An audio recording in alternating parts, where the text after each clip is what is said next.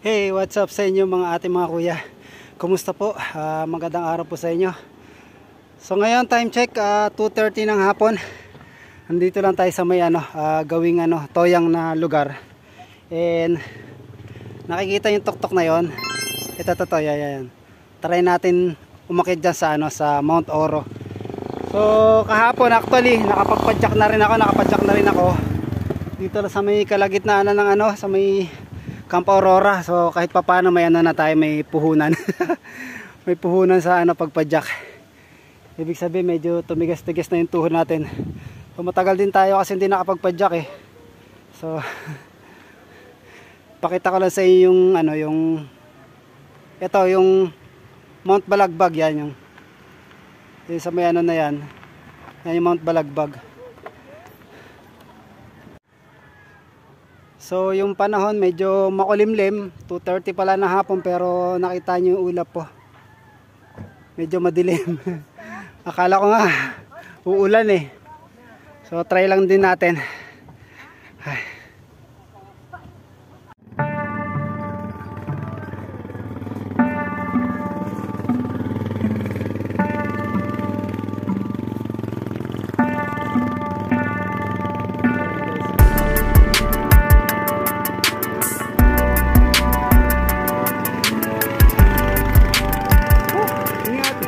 Guys, yeah. nalampasan na natin yung ano yung yung dito sa may siko yung simbahan, dito sa may simbahan, tinatawag ng simbahan. So recover tayo bali dito. Grabe pa jack na to. Puro ano, puro pahinga. Puro ano, dapat yung caption nito ah pahinga ahon. Ah, ano, puro pahinga na ahon. oh, grabe. Karayos lang. Back to zero ulit yung pagpadyak natin, di ba? Ah, ganun talaga. Hindi nakapag-practice. Kaya nag dilapag ko muna dito si Bughaw. So yung panahon na yan guys. Buti nga rin yung panahon kahit pa paano nakisama. Ah, medyo makulimlim. Kala ko di rin ako matutuloy eh kasi parang uulan eh. Pero baka sakali na rin, sabi ko kung abuti man ng ulan, silong-silong na lang dito sa ano, sa dadaanan. So yan, medyo mahaba-haba pa yung anahan natin. Ito, papadyakan natin yan. Ah, mga apat na siko pa siguro yun. Apat tatlo. Di ko lang alam ha sige. Kita tayo sa taas.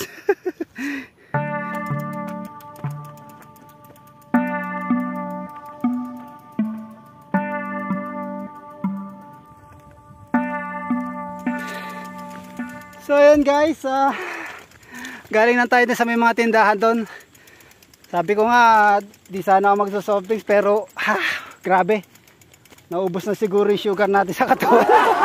Ito tulak na lang ako. Medyo magraba yung kalsada guys eh. Ha? paano na to? Pa pasamit na rin ang ano ng Mount Oro. Ito tulak na lang tayo saglit. Para sigurado lang. Sure ball ba? Huh, pero at least kahit pa paano yung panahon nakisama naman makulimlim oh. Uh, 3 ano 3.30 na ng ano ng hapon Primo yun, anong oras ako nang galingan sa baba. Ang dami kong pahinga.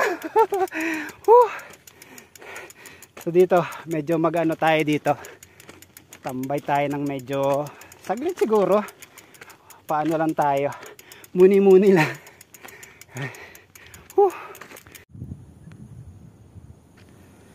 So yun guys, nakaakit na tayo dito sa may ano, sa may ta tawag dito, sa may summit ng Mount Oro.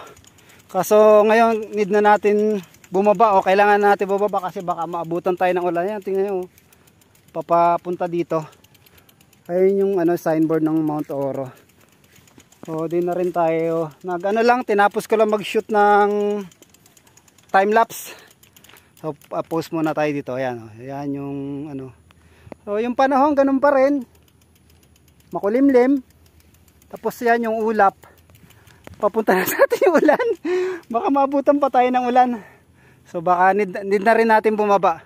So kung pupunta kayo dito guys uh, magbaon lang ng pasensya and doble ingat kasi yung dadaanin dyan sa baba medyo mabato tsaka medyo madulas. So mas maigi yung lagi mag-iingat di ba? Sabi nga.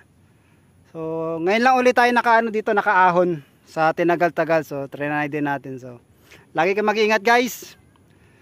So, peace out.